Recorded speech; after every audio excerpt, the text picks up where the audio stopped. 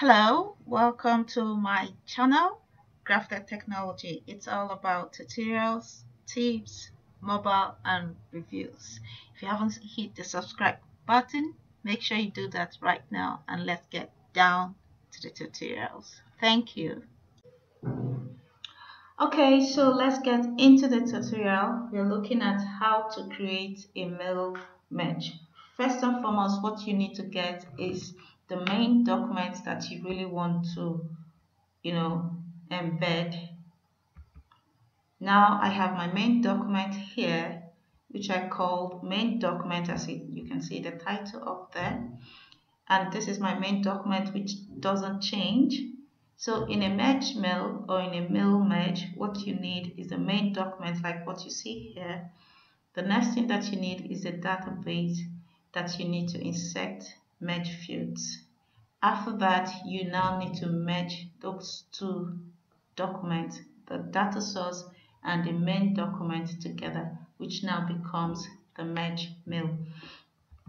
So let's hit it, click on the mailings tab now you can, if you look here, it's not activated. None of the buttons are activated in the Write, in the Write and insert fields group. So let's go ahead and upload our database.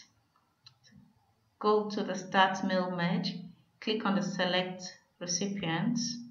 Now this drop-down arrow comes out.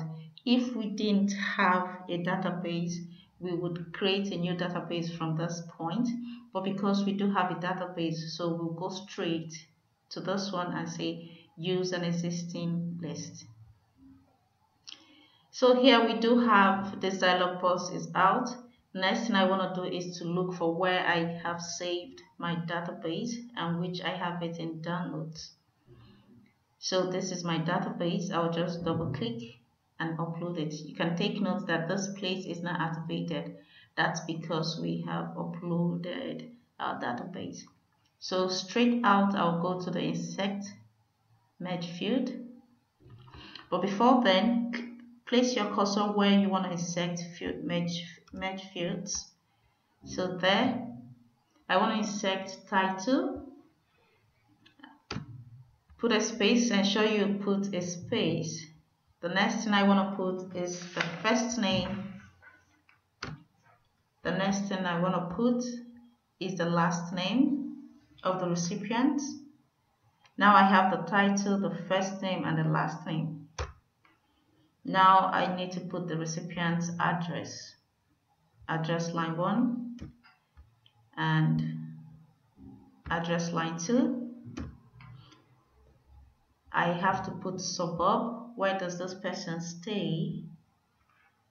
and I need to put the postal code. You know, each merge field you insert, you go to this button, the postal code. Yes, so we have the recipient's address now inserted, but you can see I have a lot of spaces here. So just move the body text a little bit up so your work looks clean. Now, each place that I have dot dot dot here and all of that, I'm going to insert merge fields over.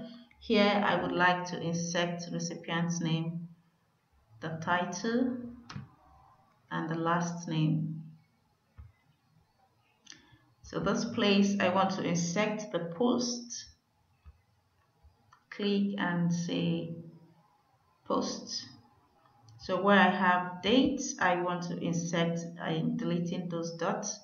I want to insert date and here I have time I want to insert the time the merge field time here please come to room I would take off this dot dot and insert the merge field room so you can see our document we have finished inserting all the merge fields and the next thing we want to do is save this document you must ensure that you save this document so you at least have a copy.